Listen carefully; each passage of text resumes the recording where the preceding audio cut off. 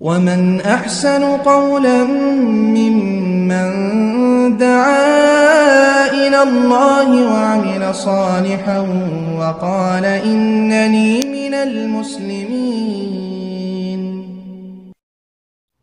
ওয়ালাইকুম আসসালাম রহমতুল্লাহ ওবরাকাত ইন্ডিয়া থেকে ইয়ামুল ইসলাম ভাই জানতে চেয়েছেন কোরবানের পশুর পেটে বাচ্চা থাকলে খাওয়া যাবে কি আলহামদুলিল্লাহ বাদ। সম্মানিত ভাই জি কোরবানের পশুর পেটে যদি কোনো বাচ্চা থাকে, সেটা ইসলামী শরীয়তে খাওয়া জায়েজ রয়েছে। যদি আপনি চান, আর যদি না চান, তাহলে কোনো অসুবিধা নেই।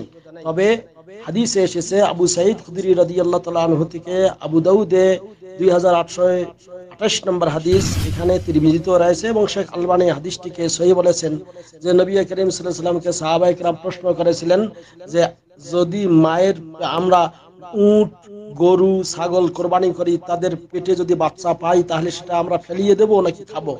তখন আল্লাহ নবী সাল্লাম কুলুহ ইনশাইতুম তোমার ইচ্ছা হলে এটা খেতে পারো।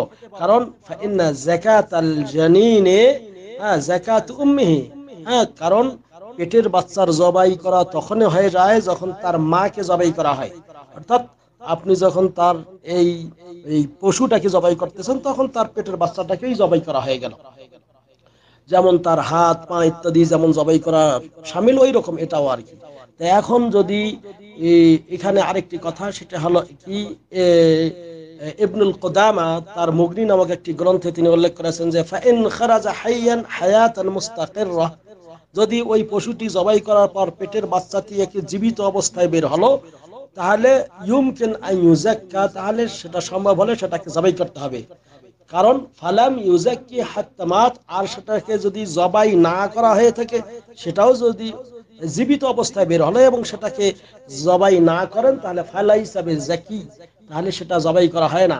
হ্যাঁ এই জন্য তিনি বলেছেন যে, ইন খারাজা হাইয়ান ফালা বুদ্দা মিন যাকাতিহি, লিআন্নাহু নাফসুন আখর। তার মতামত যে, যদি এটা জীবিত অবস্থায় বের হয়, তাহলে অবশ্যই সেটাকে ওই বাচ্চাটাকেও জবাই করতে হবে, কারণ সেটা একটা আলাদা একটা নফস হয়ে যায়।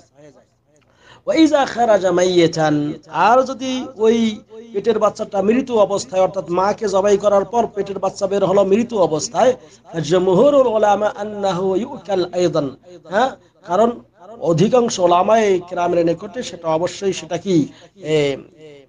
ওটা আপনি এই জবাই না না করলে আর কোনো সমস্যা নেই। কারণ মাকে যখন জবাই করা হয়েছে, তখন ওটা জবাই করা হয়েছে। এই জন্য সেই গোস্তও খাওয়া যাবে। কিন্তু যদি জীবিত অবস্থায় বড় বের হয়, সেটা জবাই না করলে ওই ওই অবস্থায় মারা গেলে সেটা আর খাওয়া যাবে না।